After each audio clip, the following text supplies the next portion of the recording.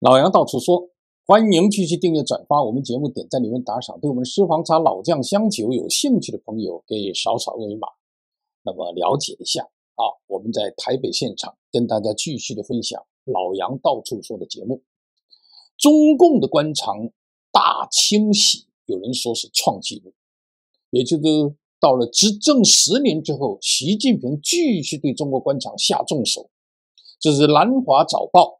香港的南华早报呢，在一月三号报道说，根据南华早报的统统计，二零二三年中国的反腐败斗争创下了新的纪录。就是说，执政的共产党在习近平的管理之下、指导之下，他的反贪污机构已经对四十五名高级官员展开调查。那是二零一三年开始，习近平进行的针对党内全面的打击腐败的行动。那么，在进行调查的过程中，发现。到今天执政十年之后，习近平能无意放松整顿中国官场的努力，同时也会敦促当局更加努力的执行不折不扣他的政策。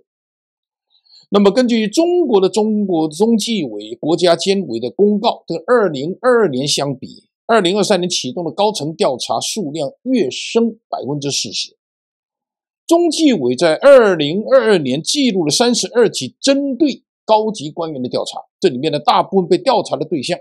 基本上属于老虎那个群体，也就中央管理干部的群体，也就是中管干部。这意味着这些人的级别都是副部级以上，啊，有些人少数人的级别虽然有最低，但是都是在重要部门担任重要的职务、关键部位的职务。这些中管干部其实是直接受。最高人事机构，也就中央组织部的管理，就是这些人呢，发现了任何不当行为，他们直截了当就要面临中纪委的高层调查。那么，根据纪律部的资料显示呢，四十五名被中纪委拘留的、留置调查的高级干部中，有二十七个人在接受调查期间退休，退休就比较好做。那么，我们就注意到了，就是邓一文他经常有话说，中纪委的大多数调查都集中在退休官员身上，这说明。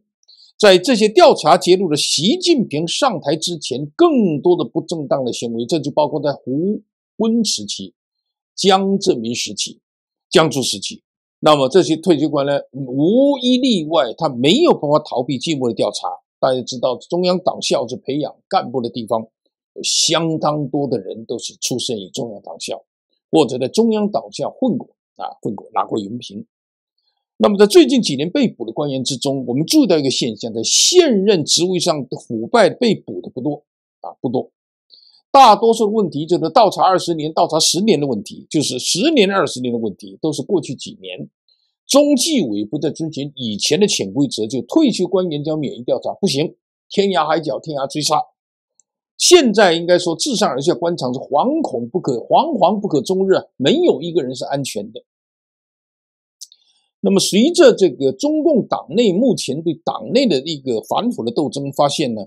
我们就发现过去三十年，由于经济快速发展、党纪国法的松弛，而积累了很多的问题，很多问题积重难返，那么对中共的整个政治的影响力，对他执政基础也会有很大的伤害。目前为止，没有任何的迹象表明习近平会停止挖掘。倒查十年、二十年这个步伐，那么自从反腐运动发起有一十一年了，中纪委根据不完全统计，共解除了二百九十四名高级官员的职务，那就是副部级以上，当然也包括正国级。这个数字还不包括中国军队大多数的腐败调查，几上千个应该这个有关的一个军事将领被调查。中国军队是通过自己的纪律检查委员会进行自己的调查，也有自己本身的军事法庭。那么这个机构到底隶属于中国最高的中央军委，那极度保密的情况之下运作。那么这个呢，也是外界了解不多。所以在二零二三年前，中纪委的一年调查副部级以上或者中管干部以上的年份是二零一四年，当时有三十八个人遭到调查。二零二零年呢，十八名正部级或者部级以上受到调查。从那以后，数字一直在上升。二零二一年有二十五名高级官员受调查，二零二二年的三十二名受调查，这个数字的逐年上升。一调倒查二十年，那可计这数字可能还不少。那么我们也注意到，刚刚我们也在我们节目中说过了，就是有九名将军的职务已经被解除，他们也免除了他们全国人大代表，包括全国政协委员的职务。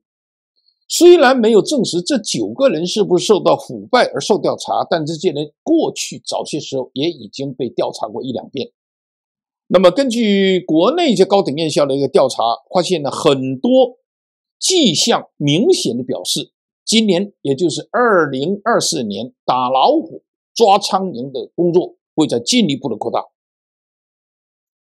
两个敏感人物就是前外交部长秦刚、前国防部长李尚福被免职。那么也谈到了九名高级官员的遍及海陆空三军，那么有九名的官员，说明军方过去将近一年的这个调查已经取得初步效果。当然，这个事情很敏感，外界知之不多。现在我估计各个国家的主要经经济呃情报机构都在想了解一下更进一步的细节。秦刚和李尚福呢，去年被免职，到现在还没有给出免职的理由。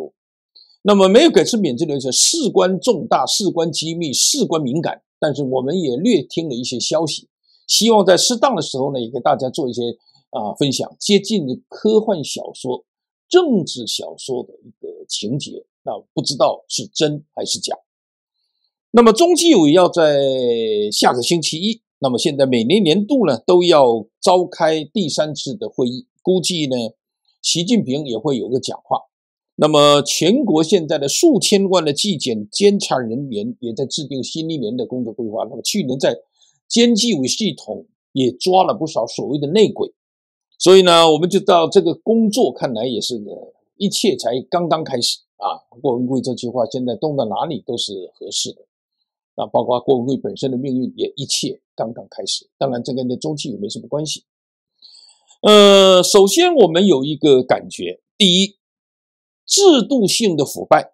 注定使得这个世界上最大的执政党没有办法在我们可见的一段时间从根本上杜绝腐败，不敢腐不想腐，这个所谓的这样一个前提啊，这个估计呢还会有人前仆后继，因为土壤还在啊，这个权力寻租的根子还在，所以呢，这个反腐工作应该是一个长年累月的工作。对所有的干部头上都有一把剑，这把剑呢，就是中纪委和习近平亲自颁发的。第二个，中纪委系统这些年也抓了将近两百多个内鬼，也就是这个系统也有些你通风报信啊，诸如此类之类，有些是有共犯结构，内鬼抓不完，贪腐官员抓不完。这样一个现实，包括习近平亲自挑选去选拔了很多高级干部，都锒铛下马，重剑下马，锒铛入狱，这是让老大脸上最挂不住的一点。当然也说明这个党其实腐败的情况很普遍。那么这个伟大、光荣、正确的政党，已经成了一个抓贪官成了他的一个新常态。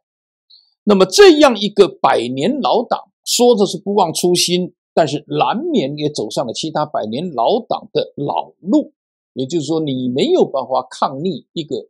政党一百年之后，它如何有一个再新出发的一个规律。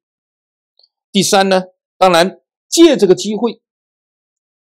继续的清除党内的异己，消除隐患。这个呢，也是目前这位习近平先生的一个当务之急。你说的呢，主政了十多年。内部的隐患还根本没有办法消除，尤其他自己抓的枪杆子、刀把子频繁的出事，而且是他方式的腐败，团团伙伙窝案，